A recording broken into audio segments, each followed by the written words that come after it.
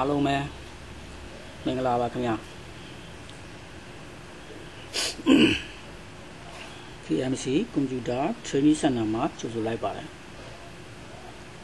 ကျွန်တော်ဒီနေ့ပြောမယ့်အကြောင်းအရာလေးကတော့ကျွန်တော်တို့ MSW logo ပေါ့နော် MSW logo နဲ့ဒေါ်ဝင်လေးဘယ်လိုဆွဲမလဲဆိုတာကိုအာခြေခံ လေးစပြီးတော့အစပြိုးတာလေးကိုတစ်ချက်အရင်ဆုံးရှင်းပြပေးပါမယ်အဲ့တော့ဒေါ်ဝင်ဆက်ဆွဲမယ်ဆိုလို့ရှိရင်ကျွန်တော်တို့ software လေးကိုတော့ download ဆွဲပြီးတော့မှကျွန်တော်တို့လုပ်လို့ရမှာဖြစ်ပါတယ်တကယ်လို့များအဲ့ဒီဒေါ်ဝင်လေးကိုအဲ့ဒီ MS logo ပေါ့နော် MS logo လေးကိုကျွန်တော်တို့စပြီးတော့လေ့ကျင့်မယ် ဆွဲမယ်ဆိုလို့ရှိရင်တော့ကျွန်တော်တို့ Google မှာတွားပြီးတော့ download ဆွဲနိုင်ပါတယ်။အမို့ကျွန်တော်အခုပြောတဲ့ YouTube ကျွန်တော်အခုပြောတဲ့ video file လေးရဲ့နော်အောက်မှာကျွန်တော်အဲ့ဒီ software အဲ download link လေးကိုလည်းကျွန်တော်ချထားပေးပါမယ်။အဲ့ဒီ download link လေးကနေပြီးတော့တွားပြီးတော့လဲ download ဆွဲပြီးတော့ကိုယ့်ရဲ့ computer မှာ install လုပ်ပေးပါလို့ပြောချင်ပါတယ်။အဲ့တော့အခု စပြီးတော့ကျွန်တော်တို့ MS logo ဒေါ်ဝင်အကြောင်းလေးစပြီးတော့ပြောပြပေးမှာဖြစ်ပါတယ်အဲ့တော့စပြီးတော့မပြောပြခင်ခဏလေးပေါ့နော်ကျွန်တော်ကြညာလေးတစ်ခုပြင်ပြစီအဲ့ဒါကတော့တခြားမဟုတ်ပါဘူးကျွန်တော်ရဲ့ YouTube เนาะကျွန်တော်ရဲ့ဒီ YouTube channel လေးမှာ like and subscribe လေးเนาะ KMC Computer and Electronic เนาะ Technology ပေါ့เนาะဒီ YouTube channel လေးကိုလည်း like and subscribe လေးလုပ်ပြီးတော့ပါအောင်လို့ကျွန်တော်ပြောကြားလိုပါတယ်ခင်ဗျာမိမိမှာဆိုလို့ပါเนาะဟုတ်ပါပြီဒါဆိုရင်ကျွန်တော်တို့စလိုက်ကြအောင်အဲ့တော့ကျွန်တော်ကျွန်တော်ကတော့ဒီမှာအဲ့ဒီ software လေးကို download ဟောဆွဲပြီးတော့ install ဒီမှာလုပ်ထားတယ်เนาะ Microsoft Windows ဆိုပြီးတော့ MS logo ပေါ့เนาะဒီကောင်လေးပေါ့ အဲ့ဒါကိုကျွန်တော်အခုတော့ဖွင့်လာပြီပါနော်ဖွင့်လို့ရှိရင် तू ကဒီတိုင်းပဲပေါ်မှာဒီတိုင်းပဲပေါ်မယ်ဟုတ်နော်ဒီ frame လေးပေါ်မယ်ဒီ frame လေးကျွန်တော်ဒီမှာရွှေ့လို့ရတယ်ဟုတ်ပြီနော်ရွှေ့လို့ရတယ်ပိတ်မယ်ဆိုရင်ဒီမှာပိတ်လို့ရတယ်ဟုတ်ပြီနော်ပြီးရင်ဒီမှာကျွန်တော်တို့တိကံပုံစံ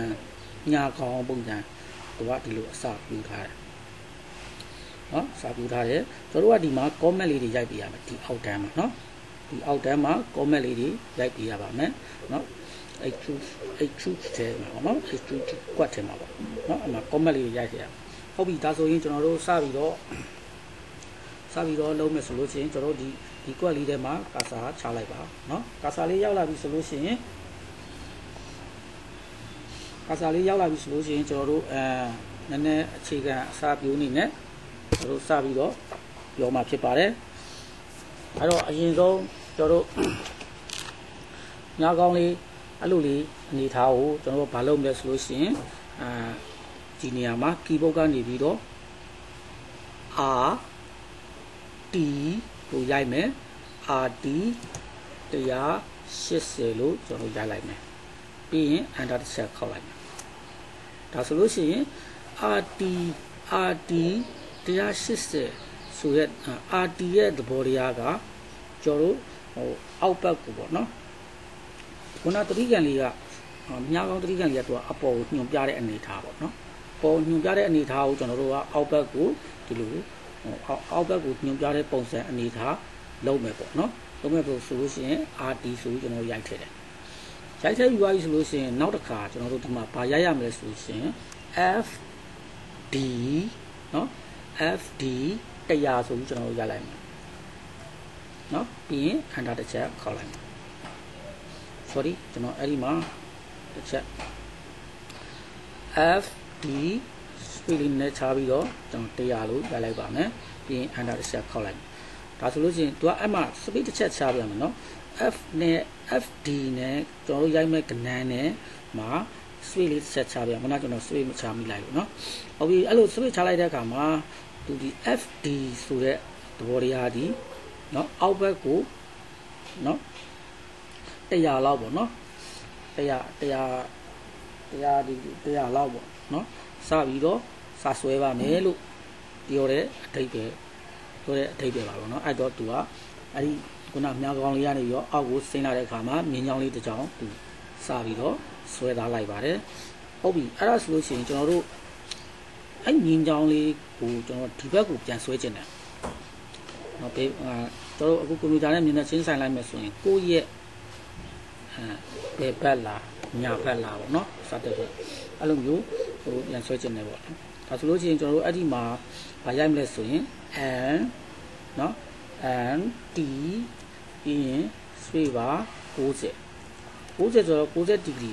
ဟိုဆူတာပါပဲနော်ပြီးရင် under လေးတစ်ချက်နှိပ်လိုက်တယ်ဒါဆိုရင်မြားကောင်းလေးဒီ ညကောင်းလေးဒီဒီဘက်ချမ်းကိုအဲလှည့်သွားတယ်ပေါ့နော်လှည့်သွားတယ်90ဒီဂရီဆိုတော့ကျွန်တော်တို့ကျင်တွယ်လို့ပေါ့နော်ကျင်တွယ်ကျင်တွယ်90ဒီဂရီကြမယ်ပေါ့အဲအဲ့လိုအနေထားပေါ့နော်ပြီးလို့ရှိရင်နောက်တစ်ခါကျွန်တော်တို့ဆွဲဖို့နော်ဒီမြင်းချောင်းလေးကိုဆွဲဖို့အနေထားဆိုရင်ကျွန်တော်တို့ FD နဲ့တုံးရပါတယ်နော် FD ဟုတ်ပြီဒါဆိုရင် FD ဆိုပြီးတော့ရိုက်မယ်ဆွေးပါဆွဲမယ်ဘလောက်အနေထားလောက်ဆွဲမယ်ကျွန်တော်100လောက်ဆွဲမယ်ပေါ့နော် 100အနေထားလောက်ဆွဲမယ်အဲဆိုရင်ဒီမှာကျွန်တော်တို့ FD နော် FD 100ဆိုပြီးတော့လိုက်ထည့်လိုက်တယ်ပြီးရင် enter နှိပ်လိုက်တယ်အဲဒါဆိုရင်ဒီလိုအနေထားလေးကျွန်တော်တို့ဆွဲဆွဲသားလို့ပြီးသွားပါလိမ့်နော်ဒါအဲ့ဒီအနေထားပေါ့နော်အဲ့တော့ဟိုတေချာလေးလိုက်လုပ်ကြည့်ပေးပါလို့ကျွန်တော်ပြောချင်ပါတယ်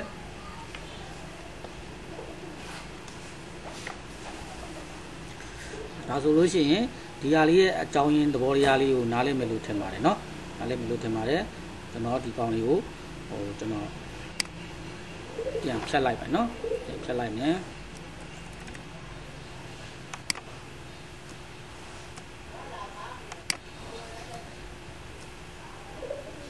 ဒီမှာတရားစဖြတ်အောင်เนาะဖြတ်လိုက်တယ်နောက်ထပ်ဖြတ်ပါမယ်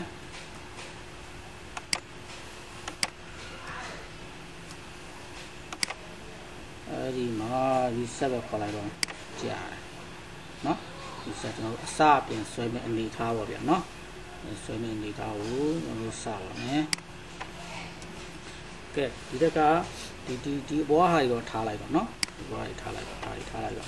အဲ့ဒါတွေကိုကျွန်တော်ဘာလို့လိုက်တော့လဲဆိုရင်ဟာစတစ်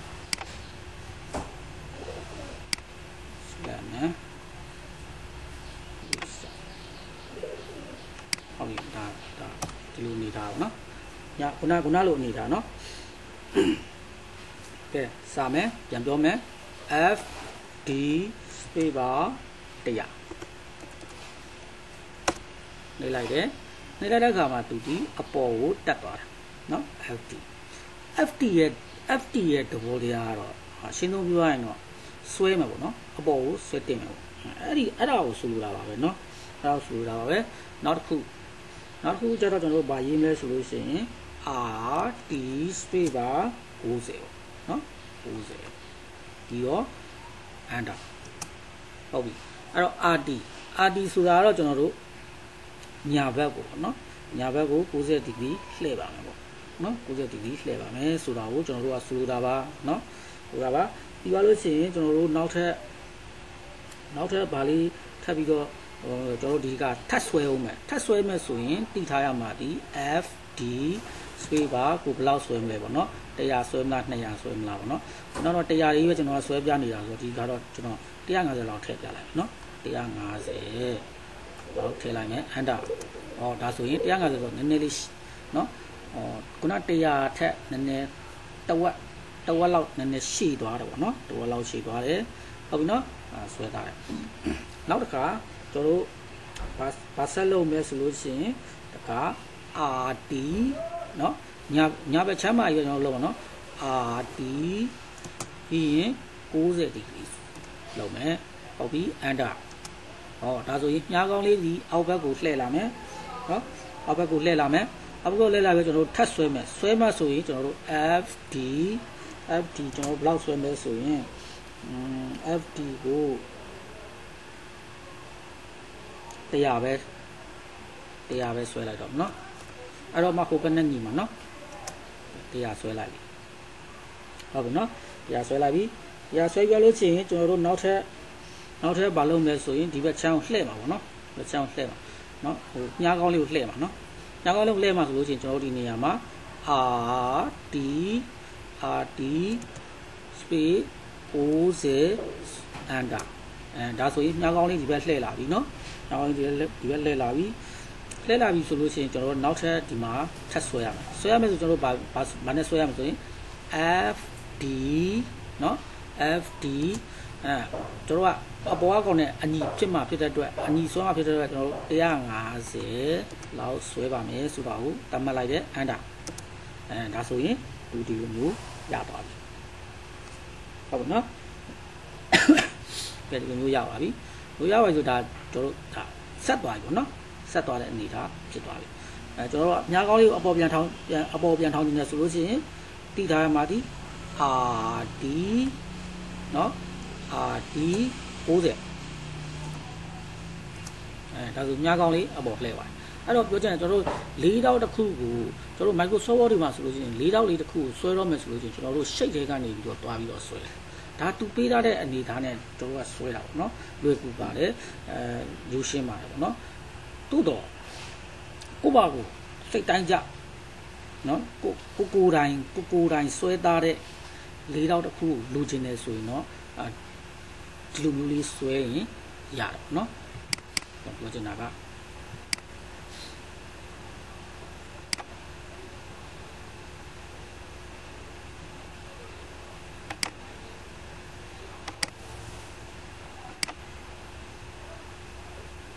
ဒါဆိုရင်အဲရမယ်လို့ထင်ပါတယ်ဒါဆိုရင်၄တောက်အနေထားလေးရပါပြီပေါ့နော်၄တောက်အနေထားရပါပြီဟုတ်ပြီကဲဒီကဒီမြားကောင်းကိုကျွန်တော်ကနည်းနည်းလေးနည်းလေးထွင်လိုက်မယ်နော်ထွင်လိုက်မယ်ဟိုလှည့်ထားတာကကျွန်တော်အပေါ်ဘက်ကို60လှည့်ထားတာပေါ့နော်60လှည့်ထားတယ်ဆိုတော့ထားပါအောင်ကျွန်တော်အပေါ်ထိပဲထပ်ဆွဲလိုက်ပါအောင်နော်ထပ်ဆွဲလိုက်မှဆိုတော့ဆွဲမှဖြစ်တဲ့ကျွန်တော်တို့ FD နော် FD space ပါ100ပဲနော်100လောက်ပဲဆွဲလိုက်အောင်အဲအပေါ်ရောက်ပါပြီဟုတ်ပြီနော်ပေါ်ရောက်ပါပြီကဲဒီကကျွန်တော်တို့ကက RD เนาะ space ပါဒီနေရာမှာကျွန်တော်က90ဒီဂရီမလဲတော့เนาะ90ဒီဂရီလဲလိုက်လို့ရှိရင်သူကပိုပိုကောင်းတဲ့သူကအထူးထူးသွားမှာเนาะတူသွားမှာတစ်ထပ်တက်ကြမှာဒါကြောင့်90ဒီဂရီမဆွဲတော့ဘဲနဲ့သူ့ရဲ့ down ပြဲဆိုတော့ ဒီမှာ90ဆိုရင်ဘယ်လောက်ဖြစ်မလဲဆိုတော့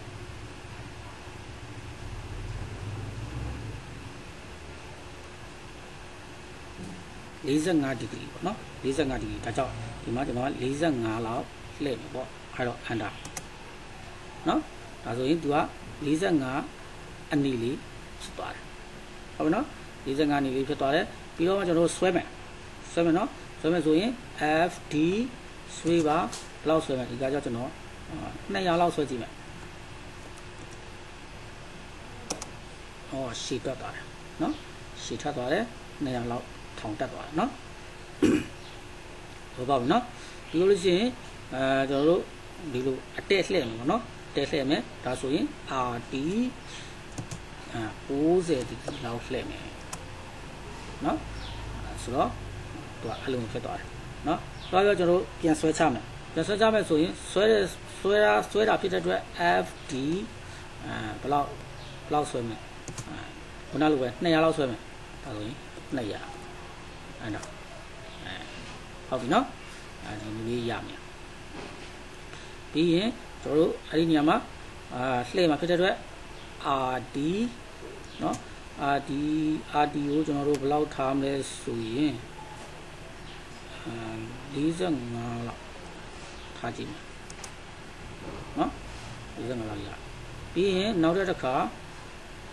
ဒါကျွန်တော်တက်တက်လောက်ပြတာနော်တက်တက်လောက်ပြတာ RD ထက်လှည့်အောင်နော်ဘယ်လောက်လဲမယ်နောက်ဆက်45လောက်ထက်လှည့်အောင်နော်ပြီးရင် RD နောက်ထပ်45လောက်ထပ်လှည့်အောင်ပါအဲနော်ဟုတ်ပြီနော်ဒါဒီကောင်လေးကိုဒီလို ကိုလိုတလိုလှဲလို့လှဲဖို့အတွက်ဆိုကျွန်တော်တို့ဒီကျွန်တော်စဝိုင်းချမ်းစဝိုင်းချမ်းမှာကျွန်တော်45ဒီဂရီဆိုဘလောက်90ဒီဂရီဆိုဘယ်နာလောက်အဲ အာအဲ့ဒီသဘောတရားပါပဲเนาะဒီမှာ number လေးတွေကျွန်တော်ရိုက်တာဟုတ်ပြီဒီနေရာမှာကျွန်တော်ကကဲ f fd နဲ့တွားလိုက်မယ် fd เนาะ fd အဲဒီကောင်ဆိုရင်ဒီကနေပြီးတော့ဒီကို150 150ဆို 200လောက်ထားကြည့်မယ်နော်200လောက်ကိုဆက်လာမဆက်သေးနော်200မပြည့်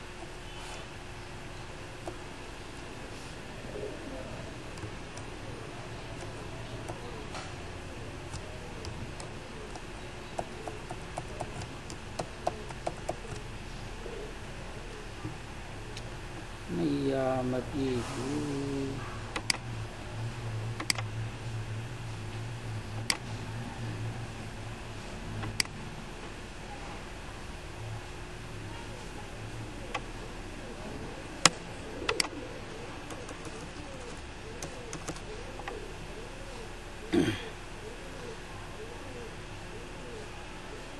နောက်တဲ့နည်းနည်းထပ်ဆိုကြည့်မယ် FD FD ဒီကောင်ကိုဘယ်လောက်လဲဆိုရင်အာ